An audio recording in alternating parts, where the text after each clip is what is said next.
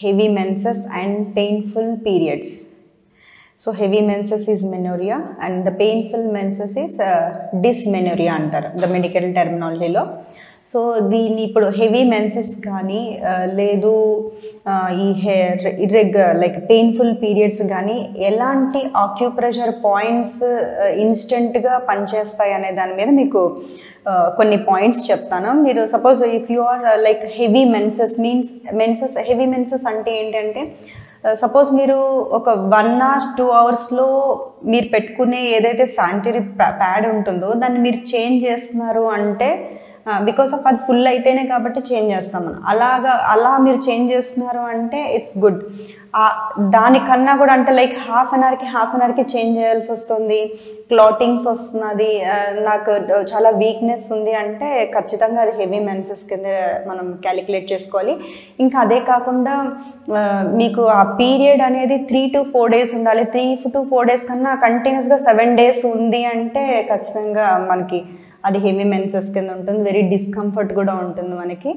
So and రెగ్యులర్గా మెయిన్గా చెప్పాలంటే కాలేజీకి వెళ్ళే పిల్లలకి చదువుకునే పిల్లలకి చాలా కష్టంగా ఉంటుంది. సో దాని గురించి మీకు ఒక మంచి ఆక్యుప్రెషర్ పాయింట్స్ చెప్తాను. With in one or two డేస్లోనే మనం వితౌట్ మెడికేషన్ అంటే ఎలాంటి మెడికేషన్ యూస్ చేయకుండానే మీకు ఆ పాయింట్స్ని యాక్టివేట్ చేసుకుంటే మీకు హెవీ మెన్సెస్ అనేది తగ్గిపోతుంది. సో ఆ పాయింట్ ఏంటంటే మీకు టూ త్రీ చెప్తాను. సుజోకీలో చెప్తాను అండ్ ఆక్యుప్రెషర్ పాయింట్స్ కూడా చెప్తాను. సుజోకీలో కనుక తీసుకుంటే ఈ ఫింగర్ ఉంది చూసారా? ఈ ఫింగర్కి first line and second line ఈ ఫస్ట్ లైన్కి సెకండ్ లైన్కి మధ్యలో ద మిడిల్ పార్ట్ని తీసుకొని జస్ట్ మీరు ఇక్కడ ఒక మనం తినే పెసలు ఉంటుంది కదా మూంగ్ దాల్ ఒకటి తీసుకొని ప్లాస్టర్ వేసుకొని ఆ పాయింట్ కరెక్ట్గా పెట్టి ప్లాస్టర్ని పెట్టి త్రూ అవుట్ నైట్ ఉంచుకోవాలి.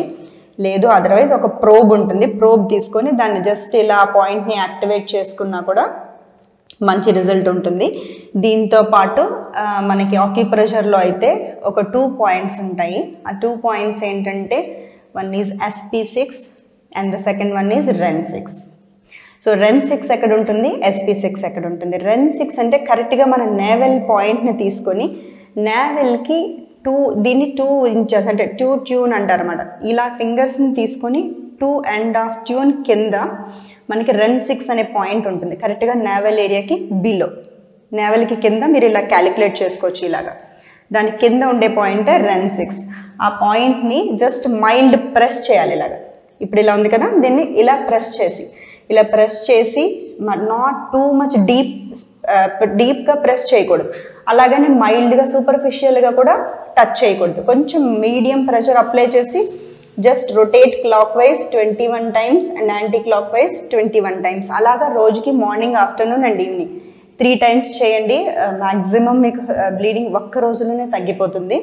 అండ్ ద నెక్స్ట్ పాయింట్ వచ్చి ఎస్పీ సిక్స్ ఎస్పీ సిక్స్ ఎలా ఉంటుందంటే లెగ్స్కి మనకి లైక్ బొటకన్ వేల్ సైడ్ బొటకన్ వేల్ సైడ్ మనకి యాంకిల్ పైన ఒక బంప్లా ఉంటుంది కదా ఒక బోన్ దాన్ని మాల్వలస్ బోన్ అంటారు దాని మాల్యులస్ బోన్కి పైన ఎక్స్ ఎగ్జాక్ట్గా మళ్ళీ again three three gap three fingers గ్యాప్కి పైన ఎస్పీ సిక్స్ పాయింట్ ఉంటుంది.